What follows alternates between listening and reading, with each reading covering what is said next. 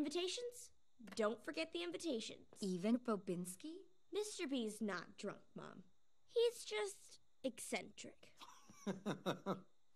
Good night, Coraline.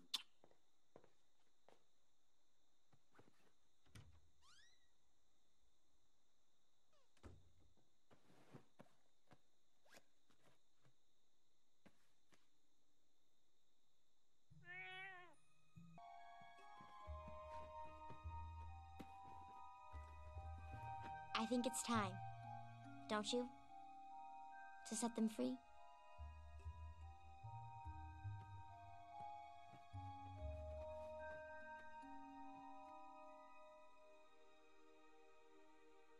Go to sleep. Go to sleep. Go to Go to sleep. sleep. Go to sleep. thing we need to Go do. to sleep. So sharp you won't feel a thing.